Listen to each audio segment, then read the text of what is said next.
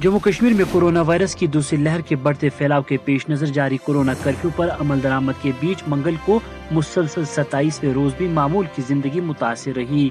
जम्मू कश्मीर के तमाम अजला में सख्ती से जारी कोरोना कर्फ्यू के बाद मंगल के रोज भी मामूल की ज़िंदगी ठप होकर रह गई। मंगल की सुबह से ही शहर श्रीनगर समेत वादी के दीगर इलाकों में सख्त तरीन इकदाम उठाए गए हैं। श्रीनगर के दीगर इलाकों के साथ साथ लाल चौक और दीगर भीड़ भाड़ वाले इलाकों को भी सील कर दिया गया है और लोगों की नकलो हमल पर मुकम्मल रोक लगाने के लिए फोर्सेस और पुलिस ने जगह जगह रुकावटें खड़ी कर रखी है।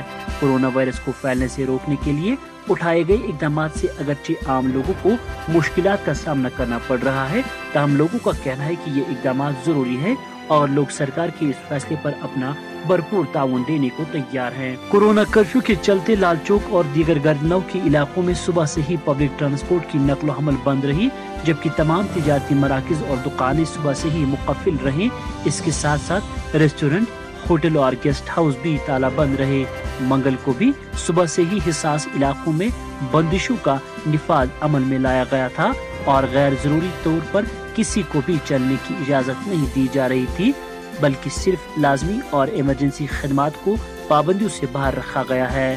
कोरोना कर्फ्यू की वजह से सड़कों और कारोबारी इदारों को बंद करके लोगों को अपने घरों तक ही महदूद कर दिया गया है।